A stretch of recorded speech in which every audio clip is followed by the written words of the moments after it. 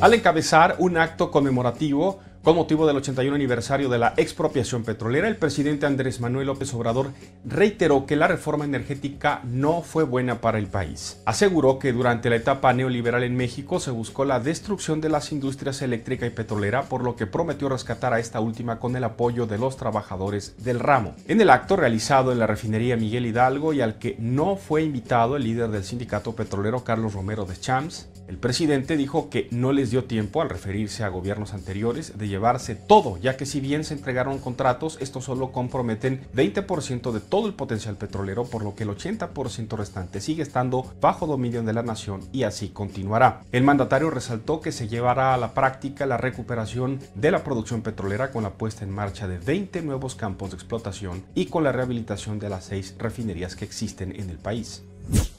Y en Veracruz, exuberantes edecanes en lencería bailaron al ritmo de batucada frente al retrato de la un líder de los petroleros Carlos Romero de Champs en las instalaciones de la sección 22 del sindicato de Pemex en Agua Dulce, Veracruz. Así quiso agasajar ese gremio a su desairado dirigente, cada vez más en desgracia al no ser invitado por la presidencia de la República a la celebración de los 81 años de la expropiación petrolera celebrada en la refinería Miguel Hidalgo en Tula Hidalgo. A la fiesta en su honor no acudió el líder sindical, pero el alcohol, la comida y la música corrieron a raudales para celebrar un aniversario más de la expropiación petrolera. Así pues, luego de 26 años de estar cerca del poder, de ser intocable y de eludir a la justicia por diversos delitos, además de ser un legislador bastante mediocre, ahora Carlos Romero de Champ se prepara para despedirse de un casicazgo que en complicidad con viejos directivos de Pemex dejó a esa estatal con una deuda de más de 2 billones de pesos, escasa producción, bajas notas de calificadoras y minada además por un guachicoleo feroz y descarado.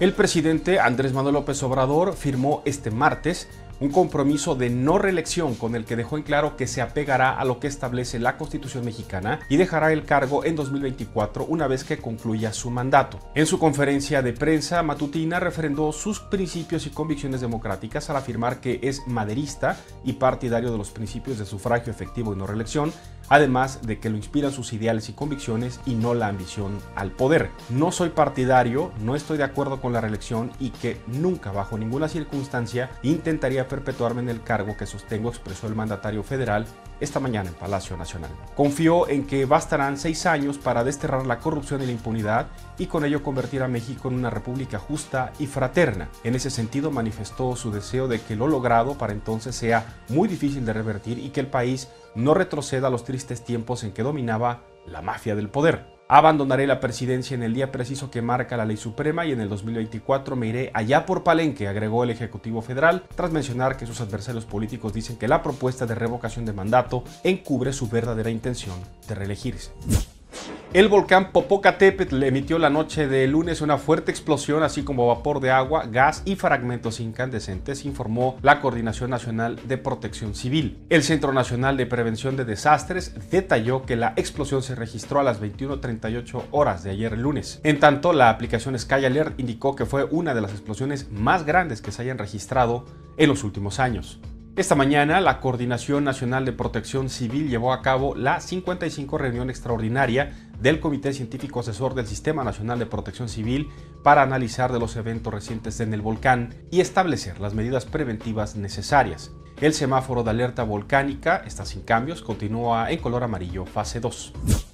Un paciente con Parkinson operado por medio de tecnología 5G a 3.000 kilómetros de distancia con apoyo de la China Mobile y la firma Huawei, con una precisión de micras y cuyos resultados fueron satisfactorios. La red 5G lleva más de una década de haberse inventado, pero hasta hace poco se comenzó a comercializar y en 2020 se proyecta ya que su uso sea generalizado en todo el mundo. La intervención fue dirigida por el médico Lin Xiaopei, jefe del primer centro médico del ejército del pueblo de China, acantonado en Beijing junto con el departamento de neurocirugía del Hospital Militar de Hainan, con una duración de cerca de tres horas. Lin no podía bajar a Beijing, lo que dio pie a que realizara la operación a distancia. Esta operación se llevó a cabo con una computadora conectada a la red 5G, con la cual se consiguió manejar el instrumental quirúrgico con una precisión de micras. También se implementaron electrodos de estimulación cerebral profunda. Sin duda, un verdadero logro de la tecnología.